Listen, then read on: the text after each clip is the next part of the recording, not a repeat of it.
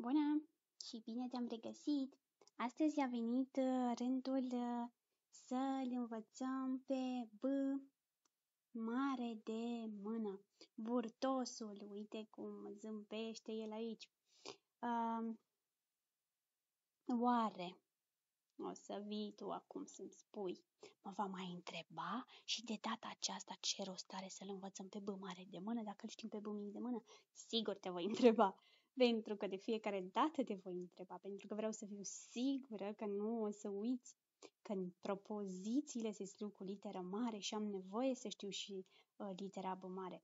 Că, uite aici, ai localități, toate patru cuvintele îți uh, le citești și o să descoperi că toate sunt localități. Uite, ai descoperit și localitatea noastră, Brașov, capitala, da, București, capitala țării noastre. Uh, da, te voi întreba mereu, pentru că este foarte important să știi de ce înveți un lucru. Bineînțeles, scriem și nume de persoane. Avem uh, Beatrice, Beatrice se scrie, da?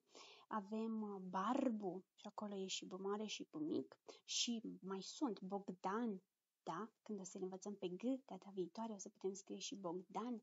Dar uite-te puțin în partea dreaptă că ți-am scris o propoziție. De data aceasta este o propoziție simplă, formată doar din două cuvinte. Nu o să-ți mai spun la ce m-am gândit eu, pentru că vreau ca tu să te gândești și să-mi spui tu mie o propoziție formată doar din două cuvinte. Tu decizi silabele, vezi, nu ți-am scris aici silabele, tu decizi câte silabe vrei să aibă fiecare cuvânt, dar rugămintea mea este atât primul cuvânt cât și al doilea cuvânt să înceapă cu B, da? Clar, primul o să înceapă cu B mare, că e la început de propoziție, și cel din interior poate să înceapă cu B mic. Trebuie să înceapă cu B mic. Da? Pentru că trebuie să fie o acțiune. Bun, hai să vedem acum. Cum oare se scrie B? Cum oare se scrie B mare de mână?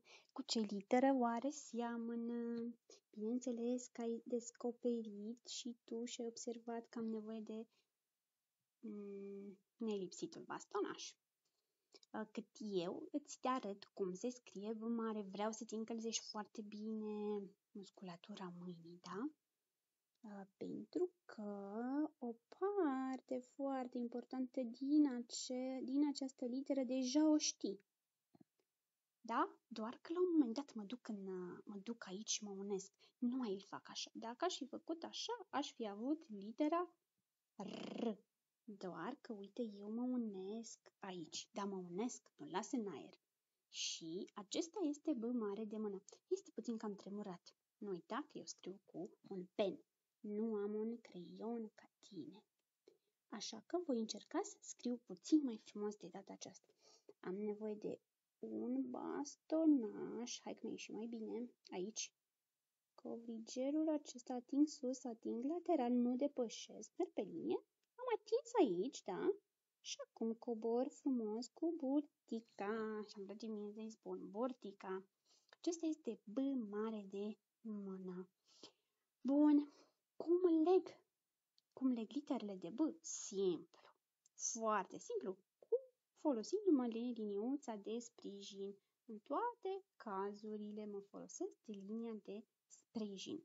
Cam atât despre B mare de mână. Vreau să-ți arăt, uite aici cum se scrie Beatrice. Pe B mare l-am deja, uite mă leg cu E de jos, B-E-A, Bea, că vrei să o alinți, Bea, T, R, I, S, ți-am spus că se scrie C, Beatrice. Beatrice. Beatrice, hai să scriu și Barbu, poți și tu să scrii pe primul rând să scrii litera B și al doilea poți să scrii nume de persoane.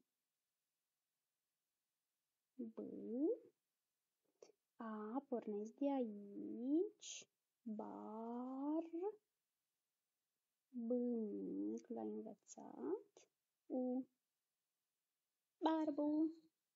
Deja două le-ai scris poți să mai scrii și tu încă două. Te îmbrățișez, îți doresc spor la lucru. Știi ce? Cred că aici, în partea de jos, ai putea să-i dai viață literei B, să-i faci mânuțe, uh, să-i faci o pălăriuță sau o umbrăluță sau ce-ți dorești tu. Te pup!